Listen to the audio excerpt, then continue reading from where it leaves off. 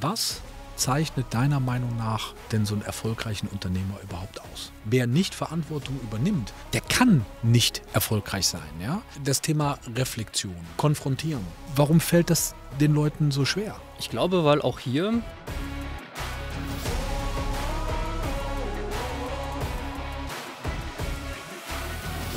Heute im Podcast Alessandro Principe. Alessandro, wir kennen uns seit fünf Jahren. Du bist mittlerweile erfolgreicher Unternehmer im Bereich Sales, hast eine eigene Consulting-Firma und wir machen jetzt heute mal einfach Real Talk. Ja, so ja. fünf Jahre, die letzten fünf Jahre, wir haben ja so wirklich irgendwie so parallel haben wir uns ja irgendwie entwickelt, auch in den letzten fünf Jahren. Ne? Ja. So, und wir sind im Büro sogar nebeneinander, ja, also wirklich nebeneinander, so äh, zwei Minuten auseinander. Und ähm, was zeichnet deiner Meinung nach denn so einen erfolgreichen Unternehmer überhaupt aus? Ja, erstmal danke für die Einladung. Heinz, äh, traurig genug, dass wir so lange gebraucht haben, dass wir uns mal gesehen haben. Du hast gesagt, wir sind seit Jahren quasi Nachbarn, genau. aber wir waren alle so im Tun ja, genau. und alle im Machen äh, beschäftigt, dass wir erst vor kurzem die Zeit gefunden haben, uns auch einfach mal zu treffen. Genau. Und ähm, ich glaube, in diesem Nebensatz steckt schon ganz viel Wahrheit drin. Wir, haben, wir sind so viele Jahre nebeneinander, aber wir haben uns einfach alle darauf konzentriert, du und ich, zu machen, umzusetzen und zu handeln. Und am Ende des Tages ist, glaube ich, das eine der wichtigsten Fähigkeiten als Unternehmer, mit Rückschlägen umgehen zu können. Mhm. Die Bereitschaft zu haben, kontinuierlich und diszipliniert zu arbeiten und die Bereitschaft, jeden Tag maximal außerhalb seiner Komfortzone zu handeln. Mhm. Und wenn ich das so runterbrechen müsste, was habe ich letzten Jahre gemacht? Dann genau das. Ja, das äh, würde ich also mal direkt komplett so unterschreiben. Komfortzone, das ist immer so ein, für mich so ein bisschen so ein geflügeltes Wort. Ja. ja? Was ist für dich Komfortzone? Ja. Es ist erstens ein mega spannendes Thema, weil viele denken, irgendwie nur nicht erfolgreiche Menschen haben eine Komfortzone und erfolgreiche Menschen haben keine Komfortzone. Am Ende des Tages ist all das, was wir in unserem Leben haben, an Ergebnissen, sei es nicht gut, sei es gut, aus dem entstanden, wie wir bisher gehandelt haben, wie wir bisher gedacht haben. Das heißt ja immer sein, tun, werden, denken, handeln, Ergebnis. Und all unser Denken, all unser Handeln hat uns zu den Ergebnissen gebracht, die wir jetzt kennen. Mhm. Und das, was wir jetzt kennen, das, was wir haben, das, was geil ist, das, was nicht geil ist, ist unsere sogenannte Komfortzone. Mhm. Bei dem einen ist die Komfortzone, der verdient 5000 Euro im Monat. Und bei dem anderen ist die Komfortzone, der macht eine Million im Monat. Also du meinst, am Ende das, was einfach ist oder das, was schon da ist. Und in dem suhlen Richtig. wir uns so ein bisschen. Ne? Ja. Ne? Also nach dem Motto, ich habe ein schönes Häuschen und ich bewege mich nur noch in diesem Häuschen. Ja, das ist die Komfortzone. Das ist Komfortzone. All das, was ich kenne, ist meine Komfortzone. Ja. Wenn ich noch nie im Fitnessstudio angemeldet war und mich dann anmelde, dann habe ich das meine Komfortzone verlassen, indem ich mich anmelde. Dann ist das angemeldet sein die neue Komfortzone. Dann ist das neue Verlassen der Komfortzone, regelmäßig ins Training zu gehen. Mhm. Dann ist das meine neue Komfortzone. Und die wächst immer mit. Und es gibt für mich nur einen Weg Richtung Wachstum, immer die Komfortzone selber zu identifizieren. Das passiert nur durch Reflexion und die Bereitschaft zu haben, diese zu verlassen. Okay, das Thema Reflexion. Lass uns doch da mal ganz kurz hinschauen. Reflexion. Ja. Du nennst das Reflexion. Was ist das denn überhaupt in deiner, in deiner Welt? Angenommen, ich lerne irgendetwas. Mhm. Viele haben so die Erwartungshaltung, hören jetzt einen Podcast und hören, ja, für Komfortzone verlassen, ich muss das ab morgen tun. Es kommt in, meinem, in meiner Realität nicht darauf an, das neue Gelernte sofort perfekt umzusetzen, sondern hinzuschauen, was habe ich denn bisher falsch gemacht oder was habe ich gut gemacht, um daraus zu lernen. Also die Fähigkeit zu reflektieren bedeutet, sich selbst anzuschauen, was habe ich bisher gemacht und was hat mich zu den Ergebnissen gebracht, die ich gerade in meinem Leben habe. Mhm. Und nur indem ich den Mut habe, auch mich selbst zu hinterfragen, dass ich eine Reflexion nenne, erlange ich Erkenntnisse, die mich wachsen lassen. Aber warum haben da so wenig Menschen? Warum haben so wenig Menschen, also ich nenne es ein bisschen anders, bei mir ist es das Thema, also ich, ich würde es auch anders nennen, ähm, sondern der Punkt ist, man könnte es sogar ganz einfach benennen, ist das Thema anschauen. Ja, anschauen. Oder konfrontieren. Ja. ja? Weil, äh, aber warum haben so viele Selbstständige auch, so viele Selbstständige machen das nicht? Oder warum fällt das den Leuten so schwer? Ich glaube, weil auch hier die Komfortzone viele Personen dabei zwingt, so zu bleiben, wie man ist. Weil wenn man zu sich selber hinschaut und Schwächen erkennt, dann erzeugt das ja, dann, dann braucht man dafür erstmal einen gewissen Mut, selber hinzuschauen. Und dieser Mut, der wird durch die eigene Komfortzone gehemmt, weil wenn man hinschaut, könnte es Veränderung bedeuten. Und Menschen lieben in der Regel das Gewisse, also die Gewissheit. Menschen lieben das, was sie haben und hassen es, das zu verlassen. Also du kannst natürlich immer, äh, du kannst natürlich immer viel einfacher das ähm, reflektieren oder konfrontieren, völlig jetzt wurscht, anschauen, ja. äh, was du gut kannst. Das ist natürlich immer, ne? Das wäre ja die genau. Komfortzone dann in deinem Wording. Das ist natürlich immer easy, ne? Ja. So nach dem Motto, guck mal hier, ne, was ich alles Tolles gemacht habe, was ich ja. dort alles Tolles kann. Das äh, können, äh, können eben viele, das ist ja easy. Ist auch ne? einfach. Aber du hast recht, es ist tatsächlich so, dass, das stelle ich auch immer wieder fest, all das, was einem nicht gut gelingt, da wo man Probleme hat, auch Streitigkeiten, nehmen wir mal Ehe, Partnerschaft, äh, Freundschaften, ja.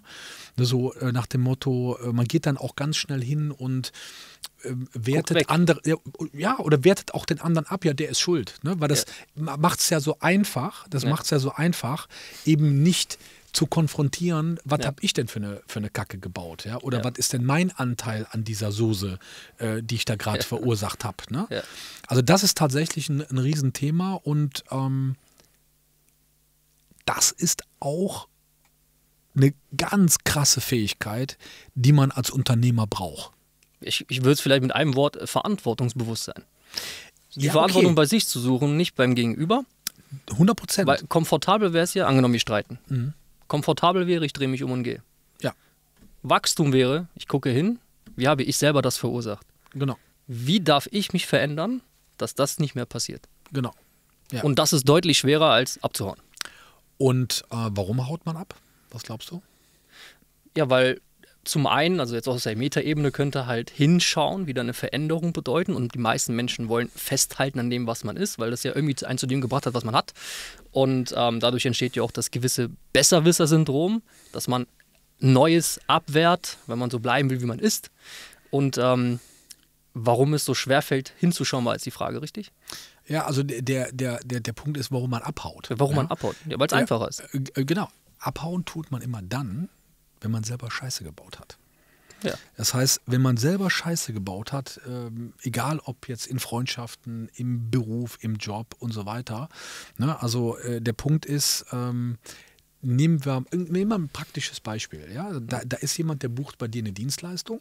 Mhm und der ist total on fire, total happy, findet das super cool. Alessandro, du bist der Größte, das ist so geil, was du machst und so weiter. Und dann zahlt er eine Rechnung nicht. Mhm.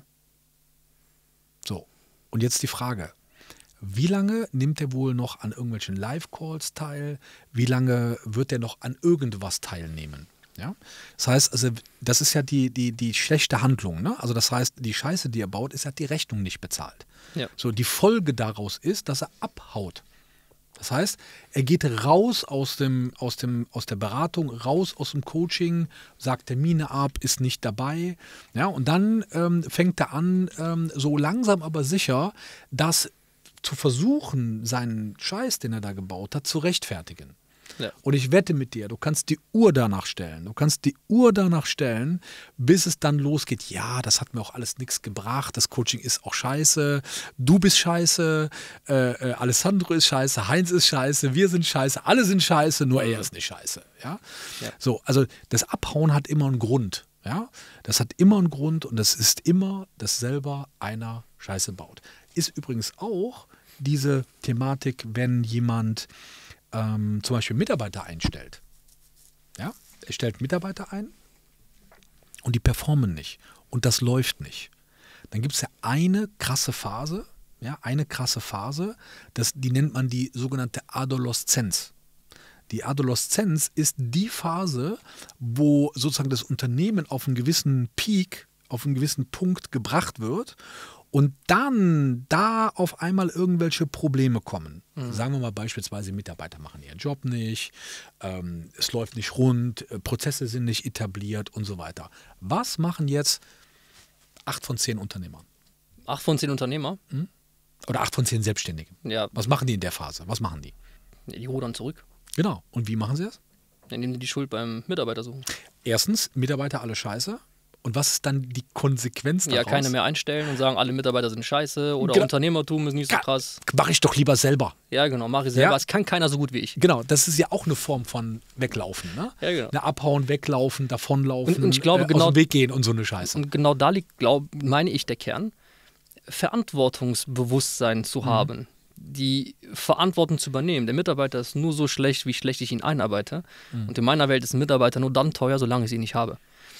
Weil wenn der Mitarbeiter nicht das tut, was er tun sollte, dann schaue ich, dass ich mich hinterfrage, habe ich denn das System in meiner Firma so aufgestellt, dass der Mitarbeiter auch so handeln kann, wie ich es mir wünsche? Ja, das, also ich würde sogar so weit gehen, ähm, Alessandro, dass Verantwortung die Leute noch nicht mal wissen, was das eigentlich bedeutet. Das Wort noch nicht mal kennen, also den Inhalt des Wortes und was es eigentlich wirklich ist. Hm. Wollen wir das mal vielleicht mal gerade mal machen, damit das den Leuten ja. mal so ein bisschen real wird. Ja? ja? Verantwortung ist im ersten Sinne etwas sehr Ursächliches. Ja. Denn alles, was mir im Leben widerfährt, hat mit mir zu tun. Es ist ja mein Leben. Ursache und Wirkung. Genau, exakt. Ist ja mein Leben. So, also das heißt, ich bin, ich übernehme, ich übernehme für alles, was in meinem Leben geschieht, für das Gute und für das Schlechte, bin ich die Ursache. So. Das, meine, das nenne ich Verantwortung. Genau, äh, exakt, ja. So, aber der, der Punkt ist, wenn ich natürlich Verantwortung übrigens, Verantwortung ist übrigens niemals im Leben, das glauben nämlich manche, du kommst jetzt in so einen Posten rein, ne?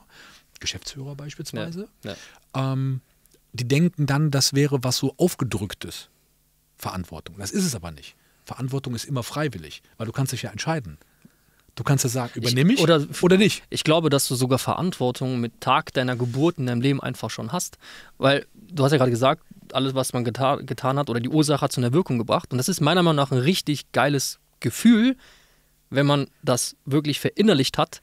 Ich darf für alles die Verantwortung tragen. Also alles, was gerade in meinem Leben scheiße läuft, mhm. habe ich verantwortet. Mhm. Kein Chef, keine Kunden, kein Marketing, keine Leads oder was auch immer. Genauso ist dann im Prinzip, wenn ich das Bewusstsein entwickle, dass ich die Verantwortung dafür getragen habe und tragen darf, kann ich es mir das Leben ja genauso basteln, wie ich, wie ich es will. Absolut. Das nennt man dann Bewusstsein, weil Bewusstsein. das ist ja wirklich Bewusstsein, ja. ja. Sich seiner Bewusstsein, ne? ja. äh, dadurch entsteht ja übrigens auch Selbstbewusstsein, ne? sich seiner Selbstbewusstsein. Ja. Ne? Und der Punkt aus, aus meiner Betrachtung ist einfach, wer nicht Verantwortung übernimmt der kann nicht erfolgreich sein, ja.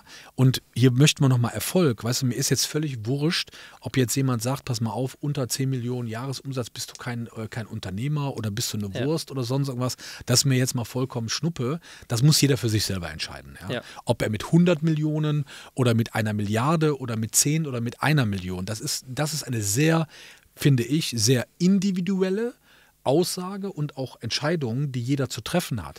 Ja. Wir können aber objektiv sagen, alles, was unter einer Million ist, ja, alles, was unter einer Million Jahresumsatz ist, und da sind wir wieder beim Thema Verantwortung, heißt halt unternehmerisch betrachtet im Prinzip Klimmzüge am Brotkasten. Hobby.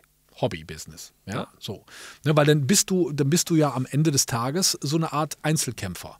Ja. Weil anders wirst es, ne, also wenn du Mitarbeiter hast, dann musst du dahin.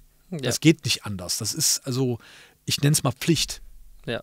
Oder? Das ist eine Verpflichtung. Also dann musst du dahin. Ne? So, und alles, was da drunter ist, Hobby, finde ich cool. Hobby gefällt mir. Das ist eigentlich so. Wenn du Hobby, Hobby. wenn du Hobby-Einsätze äh, tätigst, dann bekommst du Hobby-Ergebnisse zurück. Hier auch wieder Ursache und Wirkung. Wenn ich mein Business ein bisschen nebenbei mache und die Verantwortung ständig im Außen suche, dann betreibe ich das nicht verantwortungsbewusst, dann, veran dann betreibe ich das nicht reflektiert und wundere mich über, dass die ganze Zeit im Außen alles scheiße ist. Aber ist das denn wirklich so, ähm, weil äh, Hobby, ich habe jetzt gerade so einen Impuls gehabt, Hobby, ja. mh, also ich glaube, erstens mal, dass die Leute das natürlich so nicht wahrnehmen, dass es Hobby ist. Ja, was ist denn dann, Und, wenn ich 100.000 Euro im Jahr damit mache oder so? Ja, aber, aber lass mal vielleicht so 500, ja. 600.000. Gar nicht mal jetzt nur so die hm. ganz kleinen. Gut, 500.000. Sondern wir mal den Einzelkämpfer, der 400.000, 500.000 macht. Der ja. macht das ja nicht aus Hobby. Hm. Nö, der ist ja richtig am Schaffen, ja. Der Absolut, ist ja richtig ja. am Schaffen. Ja. ja. Der ist ja richtig am Schaffen, aber der hat halt im Rahmen seiner Verantwortung und ich will kurz auf das Thema Verantwortung ja, zurückkommen. Ja, ähm, ich finde, der übernimmt keine Verantwortung für sich hm. als Person.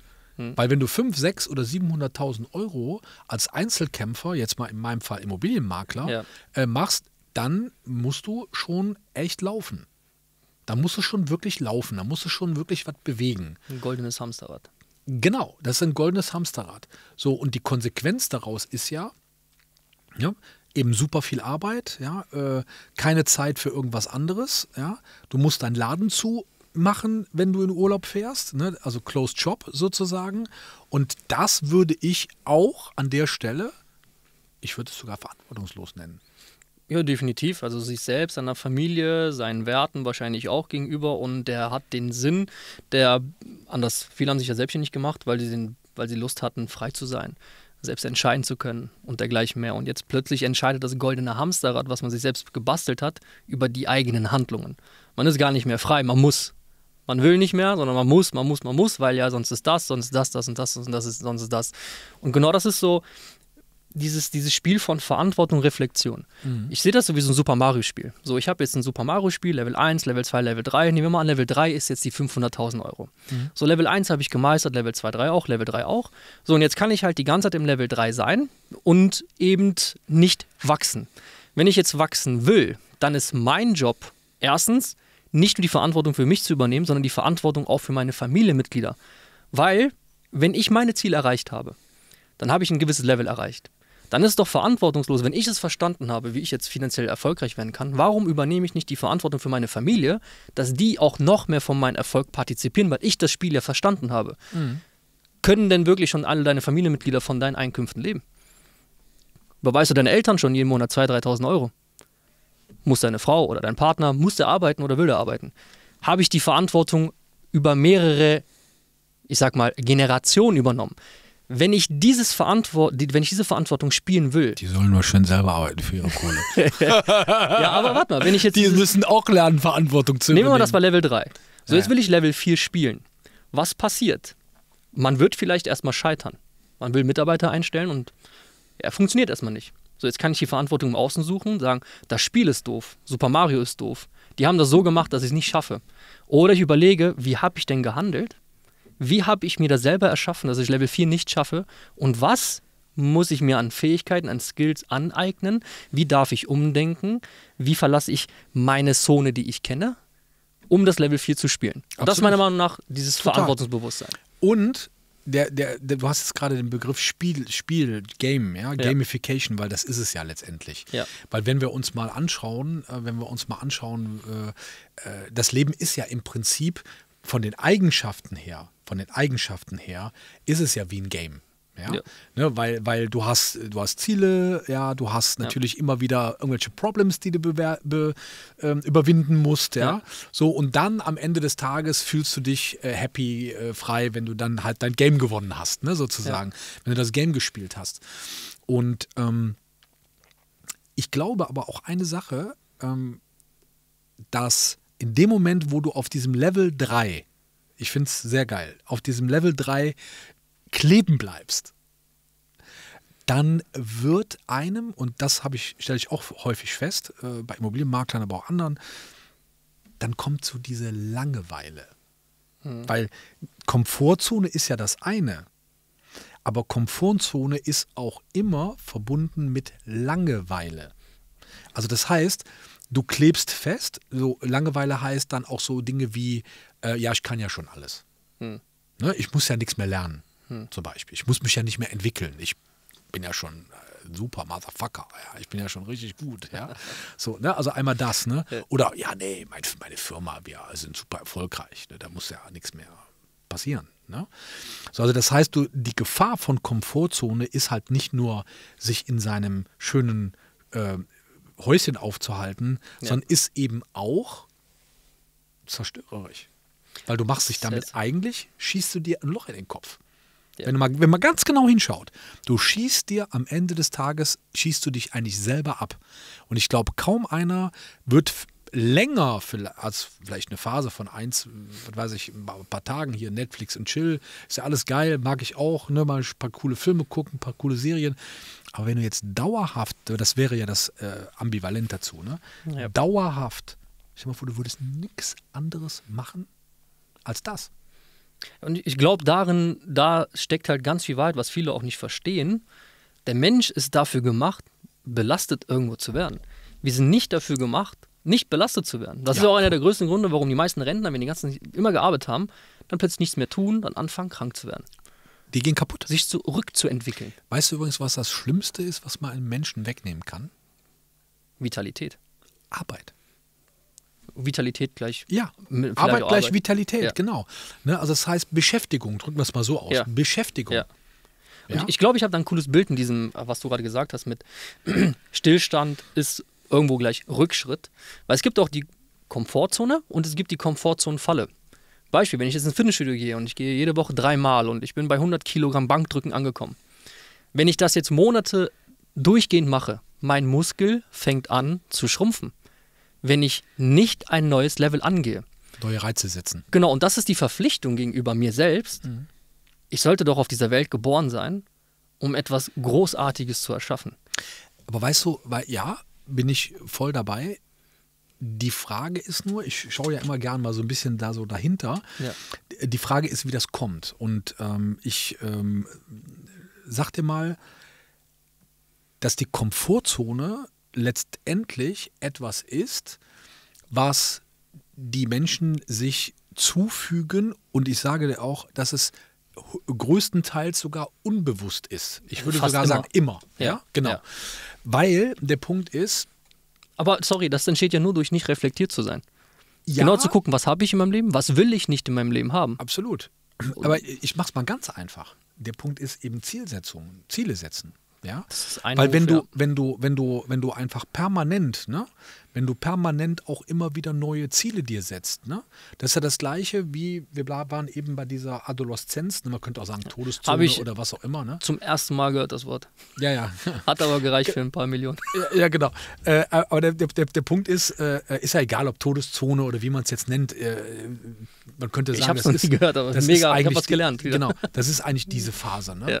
So, aber der, der, der, der Punkt ist einfach der, wenn du im Leben nicht permanent dir wieder neue Ziele setzt. Also die Leute setzen sich ein Ziel.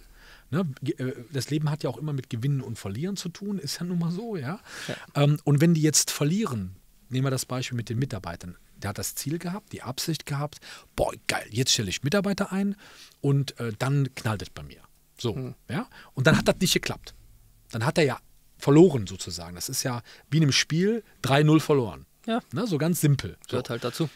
Jetzt kommt aber ein wichtiger Faktor. Das Ziel, was er gehabt hat, hat er nicht erreicht.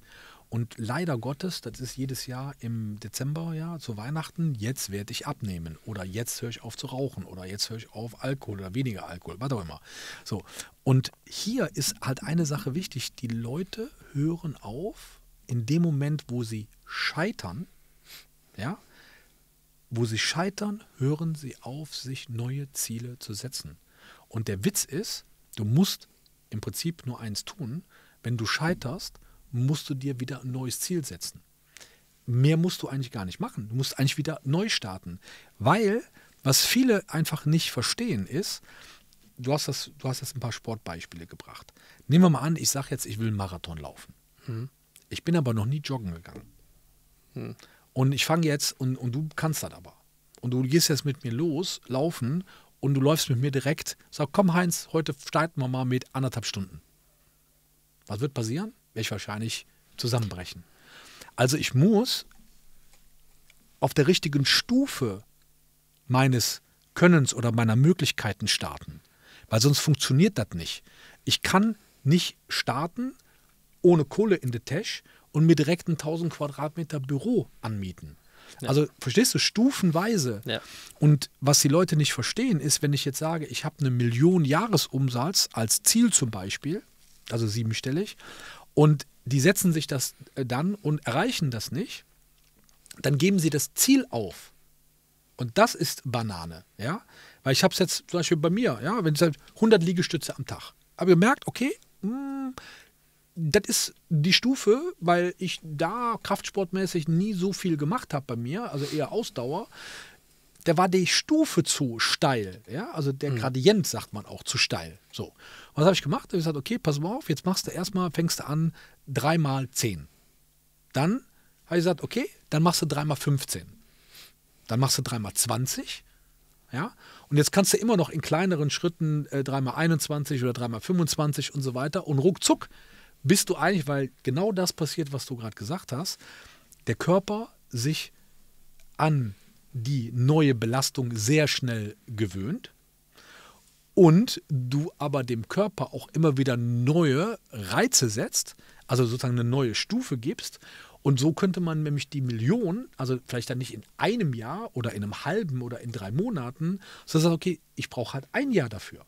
Ja? Aber ich muss halt erstmal 83.333 äh, Euro pro Monat generieren, um dahin zu kommen. Oder eben diese 83.333 geteilt durch 4, ja, muss ich die erstmal ja. in 20 in der Woche produzieren, um Schritt für Schritt an diese ganze Geschichte ranzusetzen. Ja. Und die Leute hören auf, sich Ziele zu setzen. Das ist das ja. Game was du ja gerade zwischen den Zahlen gesagt hast, ne? du hast ähm, ein gewisses Ziel nicht äh, Ziel hast du dir gesetzt und jemand erreicht es nicht.